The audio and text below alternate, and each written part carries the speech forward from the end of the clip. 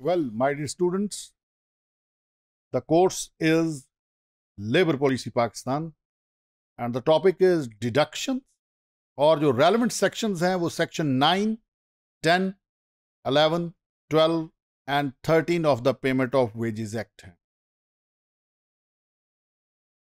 Section 9 क्या कहता है Deductions may be made under clause B of subsection 2 of section 7 only on account of the absence of an employed person from the place or places. My dear students तो अगर एक शख्स है, उसकी जो ड्यूटी है किसी खास जगह पर लगाई है और वहाँ पर वो एबसेंट है तो फिर डिडक्शन हो सकती है। और डिडक्शन जो है रीजनेबल होगी। According to the facts of the case होगी। तो माय डियर स्टूडेंट्स ये जो डिडक्शन होगी इसके जिमन में सब सेक्शन टू क्या कहता the amount of such deduction shall in no case bear to the wages payable to the employed person in respect of the wage period for which the deduction is made a large proportion than the period for which he was absent bears to the total period within such wage period during which by the term of his employment he was required to work. Provided, अब इसके साथ proviso attached है.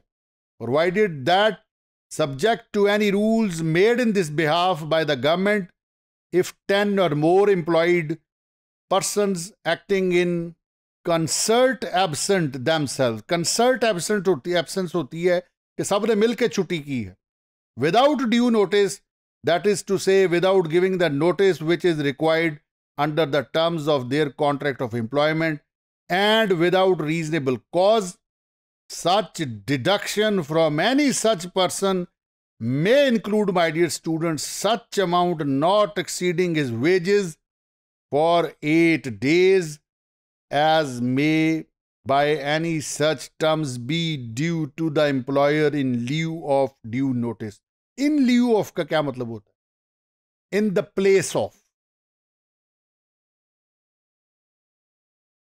section ten deduction for damage और loss पहले वाली deduction जो ये वो ये थी कि नौकरी से बंदा गैर हाजिर। दूसरी डिडक्शन जो है, वो डैमेज और लॉस की है।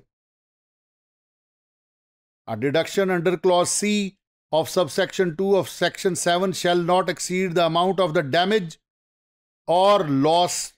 एक होता है डैमेज एक होते हैं डैमेजेस डैमेज नुकसान को कहते हैं, और जब नुकसान को भरने, भरा जाता है, उसकी कॉम्पनसेशन दी जाती है, उसे डैमेजेस कहते हैं। तो डैमेज की प्लूरल डैमेजेस हरगिज हरगिज नहीं है। डैमेज जो है, वो वर्ब है, और डैमेजेस जो हैं, वो नाउन के तौर पे इस्तेमाल होते तो माय डियर स्टूडेंट्स अगर कोई नेग्लिजेंस है, कोई डिफ़ॉल्ट है, और उस नेग्लिजेंस मैंने आपको पहले ही बताया था नेग्लिजेंस किसे कहते हैं? नेग्लिजेंस जो होती है, ये एक फिनोमिना है, एक कॉन्सेप्ट है, और इसका पहला जो पॉइंट होता है, वो ड्यूटी टू टेक केयर कि किसी शख्स के ऊपर ज़िम्मेदारी है कि वो ध्यान करेगा। उसने वो ध्यान नहीं किया। ब्रीच ऑफ़ ड्यूटी कर दी ड्यूटी को पूरा नहीं किया।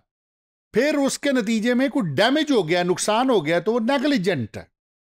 तो नेग्लिजेंस की वजह से उसको डैमेज और लॉस किसी चीज़ का हुआ है तो फिर वो डैमेज और लॉस जो है उसकी डिडक्शन उसकी वेजेस से की जाएँगी।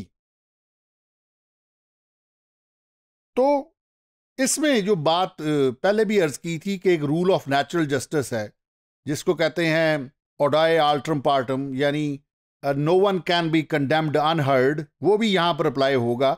तो किसी के ऊपर भी कोई डिडक्शन लगानी है तो उसका शो कॉज जो है, वो करना ज़रूरी है। या उसके लिए अगर कोई और प्रॉपर प्रोसीजर बताया हुआ है तो वो भी ज़रूरी है। तो वैसे लॉ जो है, ये दो तरह का होता है, एक प्रोसीजर लॉ और एक substantive law deductions for services rendered next जो हेडिंग है A deduction under clause D or clause E of subsection 2 of section 7 shall not be made from the wages of an employed person unless the house accommodation, amenity, or service has been accepted by him as a term of employment or otherwise, and such deduction shall not exceed an amount equivalent to the value of the house accommodation, amenity, or service supplied, and in the case of a deduction under the said clause, E, said clause, E shall be subject to such conditions the government may impose, my dear students. Very simple.